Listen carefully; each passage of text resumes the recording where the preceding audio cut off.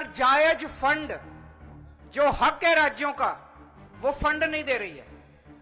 दूसरा तरीका, गवर्नर्स के और लेफ्टिनेंट गवर्नर के ज़रिए रोज काम में टांग अड़ाती है, हर काम में टांग अड़ाती है। और तीसरा तरीका, एजेंसीज को छोड़ के जिसको मर्ज़ी पकड़ के जेल में डाले जा रहे हैं, जिसको मर्ज़ी पकड़ के जेल में डाले जा रहे हैं। सबसे पहले मैं पहले तरीके पे आता हूँ। यहाँ पे पिनरई विजयन साहब बैठे हैं। पंजाब के मुख्यमंत्री बैठे हैं, मैं दिल्ली का मुख्यमंत्री और कई सारे राज्यों के मंत्रीगण आए हुए हैं। हम सारे रोज इस बात को झेल रहे हैं कि जो जायज़ फंड उस राज्य के बनते हैं, वो फंड हमें नहीं दिए जा रहे। अगर केरला के लोगों को उनके हक के फंड नहीं दिए जाएँगे तो काम कैसे चलेगा? सरकार कैसे चलेगी? केरला की सरकार कैसे चलेगी? तमिलनाडु की सरकार कैसे चलेगी?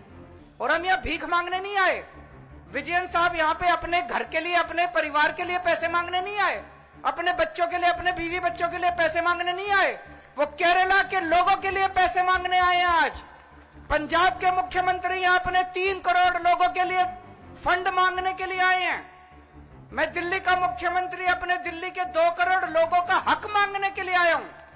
संविधान में लिखा है कि कितना पैसा किस सरकार को मिलेगा। ये वाला टैक्स आएगा मैं इनकम टैक्स में था, ये थोड़ा सा ज़्यादा जानता हूँ इसको।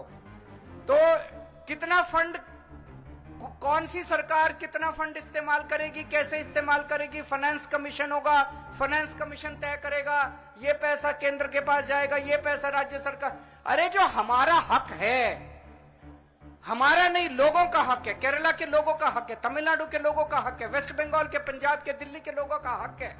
वो हक आप कैसे छीन सकते हैं लोगों का? आप उनका काम कैसे रोक सकते हैं? अगर आप हम हमारे लोगों के पैसे नहीं देंगे तो हम सड़कें कैसे बनाएँगे बिजली कैसे देंगे लोगों का विकास कैसे करेंगे? मैं भी एक दो बैनर देख रहा था। उसमें लिखा था कि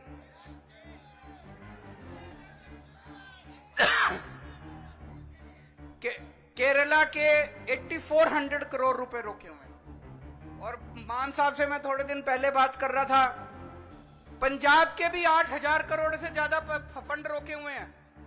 अब एक एक फंड अभी पंजाब सरकार थोड़े दिन पहले सुप्रीम कोर्ट में गई कि हमारा पैसा रिलीज़ नहीं कर रहे। आरडीएफ का पैसा, आरडीएफ लगभग चार पाँच हज़ार करोड़ बनता है। पचपन सौ करोड़ रुपया आरडीएफ का रूरल डेवलपमेंट फंड का पैसा इस्तेमाल रिलीज़ नहीं कर रहे। केरल भी गया सुप्रीम कोर्ट की हेरिंग अब अगले हफ़्ते फिक्स हुई है और तुरंत केंद्र सरकार से फ़ोन आ, आ गया। आइए बैठ के बात करते हैं। तो हम छोटी छोटी बातों के लिए सुप्रीम कोर्ट जाएँगे क्या? ये क्या बदतमीजी है? आप अपना काम क्यों नहीं करते? हम हर चीज़ के लिए सुप्रीम सुप्रीम कोर्ट के पास और भी तो बहुत काम है। सुप्रीम कोर्ट भरा हुआ है केसेस से जनता के केसेस से। हम अपने फंड लेने के लिए भी हमें फंड लेने के लिए जंतर मंतर पे आके बैठना पड़ेगा। आप लोगों को जान के ताज्जुब होगा। दिल्ली के लोग मिलके साल में दो लाख करोड़ रुपए का इनकम टैक्स देते हैं, दो लाख करोड़।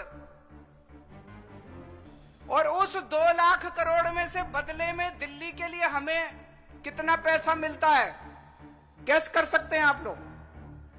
दो लाख करोड़ रुपए हम केंद्र सरकार को देते हैं, दिल्ली के लोग मिलके इनकम टैक्स में। और उस दो लाख करोड़ में से दिल्ली के लोगों को एक साल में 325 करोड़ रुपए मिलते हैं।